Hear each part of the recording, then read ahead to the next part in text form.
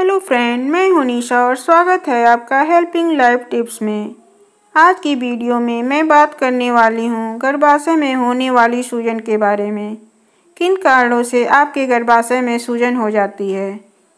और कौन कौन से ऐसे घरेलू उपाय हैं जिसकी हेल्प से आप अपनी गर्भाशय के सूजन को ठीक कर सकती हैं? तो चलिए वीडियो स्टार्ट करते हैं। गर्भाशय को आमतौर पर महिला की कोख या बच्चेदानी के नाम से जाना जाता है। ज़्यादातर महिलाओं के गर्भाशय का आकार 2.5 इंच से लेकर 3.5 इंच तक होता है। गर्भाशय का आकार एक नाशपाती के जैसा होता है। गर्भाशय में सूजन या महिला के बच्चेदानी में असामान्य वृद्धि, प्रेगनेंसी और फाइब्राइड के कारण होती है। जैसे ही गर्भाशय में सूजन होती है, महिला के पेट के निचले हिस्से में भारीपन महसूस होता है और उलझन सी होने लगती है। वैसे तो शुरुआती दिनों में कोई खास लक्षण नहीं दिखाई देते हैं, लेकिन सूजन होने के बाद महिला को पीरियड में तेज ब्लीडिंग होती है। और बॉडी पेन भी रहता है। गर्भाशय में सूजन कई कारणों से हो सकती है। इसलिए जैसे जैसे समय बीतता जाता है, इसके लक्षण भी महसूस होने लगते हैं। फाइब्राइड के कारण भी कभी कभी गर्भाशय में सूजन हो जाती है। गर्भाशय में सूजन होने का सबसे मुख्य कारण फाइब्राइड होता है। फाइब्राइड एक नॉन कैंसर ट्यूमर होता है, जो गर्भाशय के अंदर और बाहर गांठ के रूप में मौजूद होता है। ये गांठ 30 से 40 वर्ष की महिलाओं में ज़्यादातर होती है। फाइब्राइड होने का कारण महिलाओं का हार्मोन का उतार चढ़ाव और कभी कभी यह अनुवंशिक कारणों से भी हो जाती है। इसकी वजह से गर्भाशय में सूजन आ जाती है। एडिनोमायोसिस की वजह से भी आपके गर्भाशय में सूजन हो सकती है।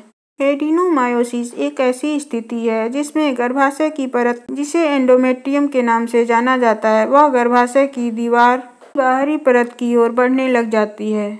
अधिक उम्र की महिलाओं में यह एक आम समस्या होती है।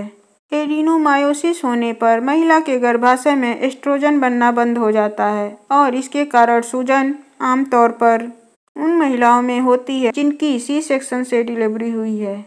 पीसीओएस की वजह से भी गर्भाशय में सूजन हो सकती है। अगर किसी महिला को पीसीओएस की समस्या है तो उसके गर्भाशय में सूजन हो सकती है। यह आमतौर पर शरीर में हार्मोनल इम्बैलेंस के कारण होता है, जिसकी वजह से आपकी पीरियड इरेगुलर और असामान्य हो जाती है, जिसके कारण गर्भाशय में सूजन हो जाती है। एंडोमेट्रियम कैंसर की वजह से भी गर्भाशय में सूजन हो सकती है। यह समस्या होने पर आप शुरुआती स्टेज में ही डॉक्टर के पास जाकर जाँच ज़रूर करवाएँ। योनि से असामान्य रूप से ब्लीडिंग होना इस समस्या का मुख्य लक्षण होता है। कभी कभी मेनोपाज होने पर भी गर्भाशय में सूजन आ जाती है। मेनोपाज होने से पहले महिलाओं के शरीर में काफ़ी ज़्यादा उतार चढ़ाव होता है। वो भी बहुत तेज़ी से होता है, जिसके कारण गर्भाशय का आकार बड़ा हो जाता है और इसमें सूजन आ जाती है। चूँकि यह अस्थायी नहीं होती है और पूरी तरह से मेनोपाज होने के बाद गर्भाशय अपने वास्तविक आकार में आ जाता है। ओवेरियन सिस्ट के कारण भी गर्भाशय में सूजन हो सकती है। जैसा कि नाम से ही स्पष्ट है। इस समस्या होने पर गर्भाशय के अंदर छोटे छोटे सिस्ट बन जाते हैं, जिसमें फ्यूड भरा होता है। इसकी वजह से लगातार कमर में दर्द बना रहता है और पीरियड के दौरान ज़्यादा ब्लीडिंग होने लगती है और गर्भाशय में भी सूजन आ जाती है। गर्भाशय में सूजन के लक्षण क्या होते हैं? किस तरह से आप समझ सकते हैं कि बच्चेदानी यानी गर्भाशय में सूजन हो गई है? महिलाओं के पेट में तेज क्रैम्प हो सकता है।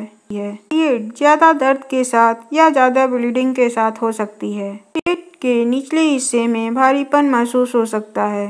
पीरियड के दौरान ज़्यादा ब्लीडिंग होने के कारण शरीर में खून की कमी हो सकती है, जिसे हम एनीमिया भी कहते हैं। शरीर कमज़ोर और पीला पड़ने लगता है। कमर के आसपास के हिस्सों पर ज़्यादा चर्बी जमा होने लगती है। गर्भाशय पर ज़्यादा दबाव पड़ना और इसके आकार में परिवर्तन दिखाई देने लगता है। पेल्विक एरिया में ज़्यादा ऐठन महसूस हो सकती है, कब्ज बन सकती है। पैरों में दर्द, ऐठन और सूजन हो सकती है। पूरे शरीर में असामान्य दर्द महसूस हो सकता है। बार बार यूरिन पास करने के लिए जाना पड़ सकता है। योनि से पानी आना, मेनोपाज के बाद भी ब्लीडिंग होना, रिलेशन के दौरान दर्द होना। पीरियड के दौरान थक्का बनना पेशाब करने में कठिनाई होना स्तन कोमल होना, मुहासे होना और चेहरे पर बाल आना, मोटापा तेज़ी से बढ़ना, ये सारे लक्षण हैं जो ये संकेत देते हैं कि आपके गर्भाशय में सूजन आ चुकी है। तो चलिए अब बात करते हैं कि गर्भाशय की सूजन आप कैसे घर बैठे ठीक कर सकते हैं। पहला, सोया मिल्क। सुबह नाश्ते से पहले एक चम्मच शहद के साथ दो तीन चम्मच सोया मिल्क का सेवन करने से गर्भाशय की सूजन दूर हो जाती है। शहद में सूजन, जलन और दर्द दूर करने के गुण पाए जाते हैं। और ये गर्भाशय के फाइब्राइड को कम करता है। तीन हफ़्ते लगातार शहद और सोया मिल्क का सेवन करने से गर्भाशय की सूजन ठीक हो जाती है। दूसरा हल्दी वाले दूध के बारे में तो आप सभी ने सुना ही होगा।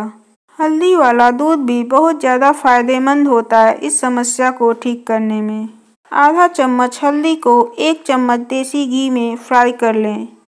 इसके बाद इस हल्दी में एक गिलास दूध मिलाएँ, चार पाँच किशमिश और दो चम्मच पिसा अखरोट को दूध में मिलाकर अच्छी तरह से उबाल लें।